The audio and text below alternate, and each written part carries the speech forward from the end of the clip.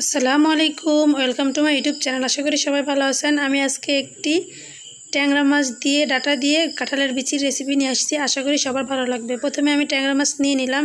এখন লবণ আর হলুদ দিয়ে মাখিয়ে নেব। চুলায় একটি প্যানে দিয়ে দিলাম সরিষার তেল। এখন আমি ট্যাংরা মাছগুলো ভেজে নেব।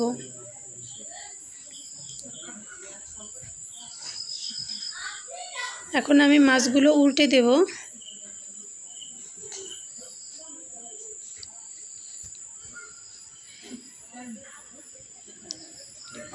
মাছটা ভাজা হয়ে গিয়েছে। এখন আমি একই প্যানের মধ্যে দিয়ে দিলাম সরিষার তেল, দিয়ে দিব পেঁয়াজ কুচি।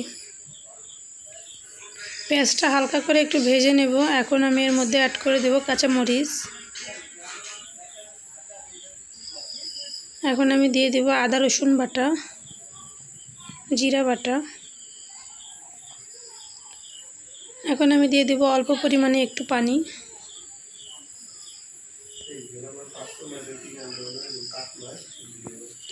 দিয়ে দেব হলুদের গুঁড়া, মরিচের গুঁড়া।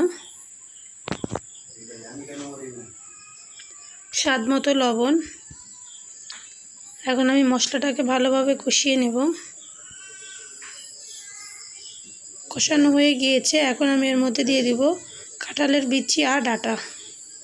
এটা দিয়ে ভালোভাবে একটু কষিয়ে অল্প পরিমাণে একটু পানি দিয়ে দিব।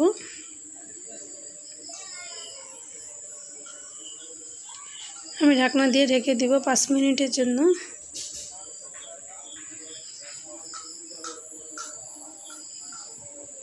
পাঁচ মিনিট পর ডাটা আর কাঁঠালের বিচি সেদ্ধ হয়ে গিয়েছে, এখন আমি এর মধ্যে দিয়ে দেব ভেজে রাখা মাছ।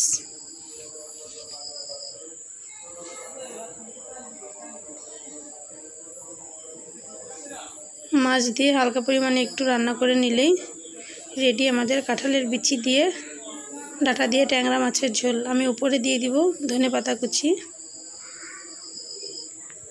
আশা করি সবার ভালো লেগেছে। সবাই আমার চ্যানেলটিকে সাবস্ক্রাইব করবেন, লাইক, কমেন্ট শেয়ার দিয়ে পাশে থাকবেন। সবাই ভালো থাকবেন, সুস্থ থাকবেন। আল্লাহ হাফেজ।